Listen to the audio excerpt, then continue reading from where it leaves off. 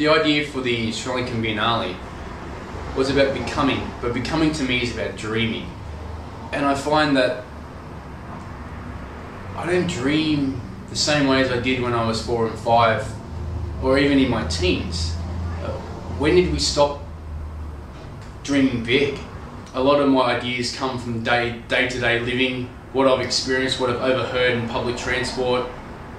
Basically, just small issues. I don't usually tackle big issues. They just I tackle the mundane issues that kind of affect my life.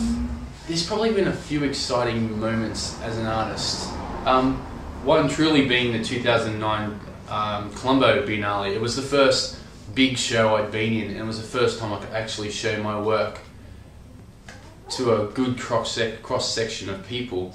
So what I think Sri Lanka will get out of the 2012 Art Biennale is probably just seeing what's happening around the world.